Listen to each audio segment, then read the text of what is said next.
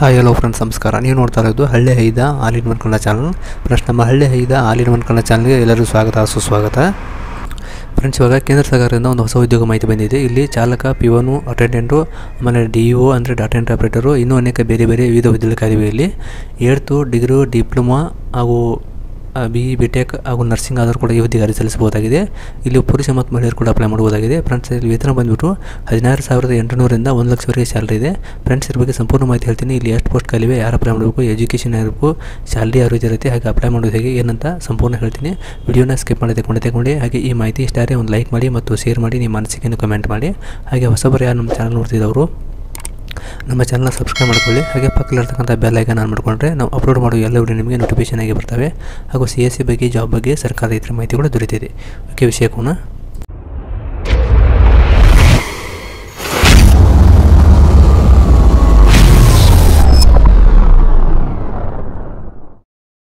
ಪ್ರಶ್ನೆಯಲ್ಲಿ ಉದ್ಯೋಗ ಬಂದ್ಬಿಟ್ಟು ex service ಕಾಂಟ್ರಿಬ್ಯೂ contributory health scheme department E W S minister of defence ಇಲ್ಲಿ ಇರತಕ್ಕಂಥ, ಇದು ಕೇಂದ್ರ ಸರ್ಕಾರದ ಎಕ್ಸ್ ಸರ್ವಿಸ್ ಮ್ಯಾನ್ ಡಿಪಾರ್ಟ್ಮೆಂಟ್ ಇರತಕ್ಕಂಥ ಒಂದು ಇಲಾಖೆಯ ಹುದ್ದೆಗಳಾಗಿವೆ.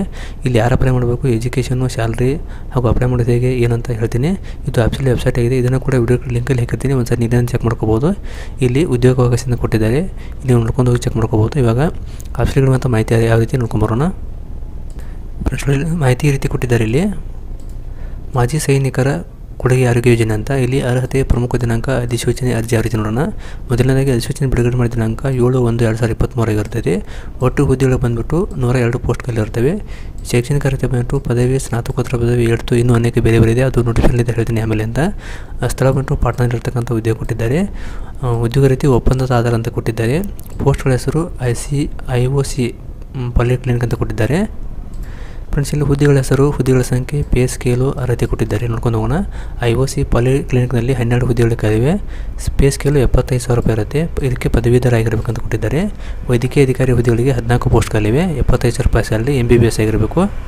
ಪ್ಲಸ್ ಆಮೇಲೆ ವೈದ್ಯಕೀಯ ತಜ್ಞ ಹುದ್ದೆಗಳಿಗೆ ಒಂದು ಪೋಸ್ಟ್ ಖಾಲಿದೆ ಒಂದು ಲಕ್ಷ ರೂಪಾಯಿ ಸ್ಯಾಲರಿ ಇರುತ್ತೆ ಸಂಬಂಧಪಟ್ಟ ವಿಶೇಷತೆಯಲ್ಲಿ ಎಂ ಡಿ ಅಥವಾ ಎಂ ಎಸ್ ಆಗಿರ್ಬಂದು ಕೊಟ್ಟಿದ್ದಾರೆ. ದಂತ ಅಧಿಕಾರಿ ಹುದ್ದೆಗಳು ಐದು ಪೋಸ್ಟ್ ಖಾಲಿವೆ ಎಪ್ಪತ್ತೈದು ಸಾವಿರ ರೂಪಾಯಿ ಸ್ಯಾಲರಿ ಇರುತ್ತೆ ಬಿ ಡಿ ಎಸ್ ಆಗಿರಬೇಕು. ಆಮೇಲೆ ಸ್ತ್ರೀ ರೋಗ ತಜ್ಞ ಹುದ್ದೆಗಳಿಗೆ ಒಂದು ಪೋಸ್ಟ್ ಖಾಲಿದೆ ಒಂದು ಲಕ್ಷ ರೂಪಾಯಿ ಸ್ಯಾಲರಿ ಇರುತ್ತೆ ಇದು ಸಂಬಂಧಿತ ವಿಶೇಷದಲ್ಲಿ ಡಿ ಎನ್ ಬಿ ಮತ್ತು ಎಂ ಡಿ ಎಂ ಎಸ್ ಆಗಿರ್ಬಂದು ಕೊಟ್ಟಿದ್ದಾರೆ. ಆಮೇಲೆ ಪ್ರಯೋಗಾಲಯ ತಂತ್ರಜ್ಞಾನದಲ್ಲಿ ಏಳು ಪೋಸ್ಟ್ಗಳಿವೆ. ಇವರಿಗೆ ಇಪ್ಪತ್ತೆಂಟು ಸಾವಿರ ರೂಪಾಯಿ ಸ್ಯಾಲರಿ ಇರುತ್ತೆ. ಬಿ ಎಸ್ ಸಿಯಲ್ಲಿ ಮೆಡಿಕಲ್ ಲ್ಯಾಬ್ ಟೆಕ್ನಾಲಜಿ ಅಥವಾ ವೈದ್ಯಕೀಯ ಲ್ಯಾಬ್ ಟೆಕ್ನಾಲಜಿ ಪಾಸ್ ಆಗಿರಬೇಕಂತ ಕೊಟ್ಟಿದ್ದಾರೆ ಡಿಪ್ಲೊಮಾದಲ್ಲಿ. ಆಮೇಲೆ ಭೌತಿಕ ಚಿಕಿತ್ಸಕ ಹುದ್ದೆಗಳು ಮೂರು ಪೋಸ್ಟ್ಗಳಿವೆ. ಇವರಿಗೆ ಇಪ್ಪತ್ತೆಂಟು ಸಾವಿರದ ಒಂದೂರು ಸ್ಯಾಲರಿ ಇರುತ್ತೆ. ಡಿಪ್ಲೊಮಾ ವರ್ಗ ಒಂದು ಪಿ ಒ ಫಿಸಿಯೋಥೆರಪಿ ಕೋರ್ಸ್ ಸಶಸ್ತ್ರ ಪಡೆಯಲ್ಲಿ ಆಗಿರಬೇಕಂತ ಕೊಟ್ಟಿದ್ದಾರೆ. ಆಮೇಲೆ ಫಾರ್ಮಿಸ್ಟ್ರಿ ಹನ್ನೊಂದು ಪೋಸ್ಟ್ಗಳಿವೆ. ಇವರು ಕೂಡ ಇಪ್ಪತ್ತೆಂಟು ಸಾವಿರ ರೂಪಾಯಿ ಸ್ಯಾಲರಿ ಇರುತ್ತೆ. ಬಿ ಫಾರ್ಮಾ ಅಥವಾ ಡಿಪ್ಲೊಮಾ ಇನ್ ಫಾರ್ಮಸಿ ಆಗಿರಬೇಕು. ಆಮೇಲೆ ನರ್ಸಿಂಗ್ ಹುದ್ದೆಗಳು ಬಂದ್ಬಿಟ್ಟು ನರ್ಸಿಂಗ್ ಸಹಾಯಕ ಹುದ್ದೆಗಳು ನಾಲ್ಕು ಪೋಸ್ಟ್ಗಳಿವೆ ಇಪ್ಪತ್ತೆಂಟು ಸಾವಿರ ರೂಪಾಯಿ ಸ್ಯಾಲರಿ ಇರುತ್ತೆ. ಜೆ ಎನ್ ಎಂ ಡಿಪ್ಲೊಮಾ ವರ್ಗ ಬಂದು ನರ್ಸಿಂಗ್ ಸಹಾಯಕ ಕೋರ್ಸ್ ಸಶಸ್ತ್ರ ಪಡೆಗಳಲ್ಲಿ ಅಥವಾ B S C nursing pass ಬಂದು ಕೊಟ್ಟಿದ್ದಾರೆ ಆಮೇಲೆ ದಂತ ನರಮಲ್ಯ ತಜ್ಞ ಸಹಾಯಕ ತಂತ್ರ ತಂತ್ರಜ್ಞಲ್ಲಿ ಏಳು ಪೋಸ್ಟ್ಗಳಿವೆ ಇವರು ಇಪ್ಪತ್ತೆಂಟು ಸಾವಿರ ಒಂದು ರೂಪಾಯಿ ಸ್ಯಾಲರಿ ಇರುತ್ತೆ. Dental high class one D H Dora ಕೋರ್ಸ್ನಲ್ಲಿ ಡಿಪ್ಲೊಮಾ ಹೋಲ್ಡರ್ ಸಶಸ್ತ್ರ ಪಡೆಗಳು ಅಥವಾ ಡೆಂಟಲ್ ಹೈಜಿನಿಸ್ಟ್ ಡೆಂಟಲ್ ಮೆಕ್ಯಾನಿಕ್ ಕೋರ್ಸ್ನಲ್ಲಿ ಡಿಪ್ಲೊಮಾ ಪಾಸ್ ಆಗಿರೋದನ್ನು ಕೊಟ್ಟಿದ್ದಾರೆ. ಆಮೇಲೆ ನೀವು, ನಾವು ಚಾಲಕ ಹುದ್ದೆ ಡ್ರೈವರ್ ಹುದ್ದೆ ನೋಡಬೇಕಾದ್ರೆ ಎರಡು ಪೋಸ್ಟ್ಗಳಿವೆ ಇವರಿಗೆ ಹತ್ತೊಂಬತ್ತು ಸಾವಿರದ ಒಂಬತ್ತು ಸಾರಿ ಹತ್ತೊಂಬತ್ತು ಸಾವಿರದ ಏಳ್ನೂರು ರೂಪಾಯಿ ಸ್ಯಾಲರಿ ಇರುತ್ತೆ. ಶಿಕ್ಷಣ ಬಂದ್ಬಿಟ್ಟು ಎಂಟನೇ ತರಗತಿ ಪಾಸ್ ಆಗಿರಬೇಕು. ಆಮೇಲೆ ವರ್ಗ ಒಂದು ಎಂ ಟಿ ಚಾಲಕ ಸಶಸ್ತ್ರ ಪಡೆಯಲ್ಲಿ ನಾಗರಿಕ ಚಾಲನಾ ಪರವಾನಗಿಯನ್ನು ಹೊಂದಿರಬೇಕಂತ ಕೊಟ್ಟಿದ್ದಾರೆ ಆಮೇಲೆ ಚೌಕಿದಾರ ಹುದ್ದೆಗಳು ಆರು ಪೋಸ್ಟ್ಗಳಿವೆ ಇವರಿಗೆ ಹದಿನಾರು ಸಾವಿರದ ಎಂಟು ರೂಪಾಯಿ ಶಾಲೆ ಇರುತ್ತೆ. ಶಿಕ್ಷಣ ಬಂದಿಟ್ಟು ಸಶಸ್ತ್ರ ಪಡೆಗಳ ಸಿಬ್ಬಂದಿಗೆ ಎಂಟನೇ ತರಗತಿ ಅಥವಾ ಜಿ ಡಿ ವ್ಯಾಪಾರದಲ್ಲಿ ಪಾಸಾಗಿರುವುದನ್ನು ಕೊಟ್ಟಿದ್ದಾರೆ ಆಮೇಲೆ ಮಹಿಳಾ ಅಟೆಂಡೆಂಟ್ ಹುದ್ದೆಗಳಾಗಿವೆ. ಇಲ್ಲಿ ಎರಡು ಪೋಸ್ಟ್ಗಳಿವೆ ಇವರಿಗೆ ಹದಿನಾರು ಸಾವಿರದ ಎಂಟು ರೂಪಾಯಿ ಶಾಲೆ ಇರುತ್ತೆ. ಅಕ್ಷರಶಾಸ್ತ್ರ ಅಷ್ಟು ಕೊಟ್ಟಿದ್ದಾರೆ. ಆಮೇಲೆ ಪಿಯೋನ್ ಹುದ್ದೆಗಳು ಒಂದು ಪೋಸ್ಟ್ ಕಾಲಿರುತ್ತೆ ಹದಿನಾರು ಸಾವಿರದ ಎಂಟುನೂರು ರೂಪಾಯಿ ಶಾಲೆ ಇರುತ್ತೆ. ಶಿಕ್ಷಣ ವರ್ಗ ಎಂಟು ಜಿಲಿ ವ್ಯಾಪಾರ ಸಶಸ್ತ್ರ ಪಡೆಗಳಲ್ಲಿ ಪಾಸಾಗಿ ಕೊಟ್ಟಿದ್ದಾರೆ ಸಫಾಯಿವಾಲ ಹುದ್ದೆಗಳು ಐದು ಪೋಸ್ಟ್ಗಳಿವೆ. ಇವರಿಗೆ ಹದಿನಾರು ಸಾವಿರದ ಎಂಟು ರೂಪಾಯಿ ಶಾಲೆ ಇರುತ್ತೆ. ಇವರು ಕೂಡ ಅಕ್ಷರಸ್ಥಾಗಿ ಬಂದು ಕೊಟ್ಟಿದ್ದಾರೆ ಆಮೇಲೆ ಐ ಟಿ ನೆಟ್ವರ್ಕ್ ತಂತ್ರಜ್ಞ ಒಂದು ಪೋಸ್ಟ್ಗಳಿದೆ. ಇಪ್ಪತ್ತೆಂಟು ಸಾವಿರದ ಒಂದು ರೂಪಾಯಿ ಶಾಲೆ ಇರುತ್ತೆ. ಇವರು ಐ ಟಿ ನೆಟ್ವರ್ಕ್ ಕಂಪ್ಯೂಟರ್ ಅಪ್ಲಿಕೇಶನಲ್ಲಿ ಡಿಪ್ಲೊಮಾ ಪ್ರಮಾಣಪತ್ರ ತತ್ಸಮಾನ ಪಾಸಾಗಿ ಬಂದು ಕೊಟ್ಟಿದ್ದಾರೆ ಆಮೇಲೆ ಡಾಟಾ ಎಂಟ್ರಿ ಆಪರೇಟರ್ ಹುದ್ದೆಗಳು ಮೂರು ಪೋಸ್ಟ್ಗಳಿವೆ. ಇವರಿಗೆ ಹತ್ತೊಂಬತ್ತು ಸಾವಿರದ ಏಳು ಸಾವಿರದ ಏಳ್ನೂರು ರೂಪಾಯಿ ಶಾಲೆ ಇರುತ್ತೆ.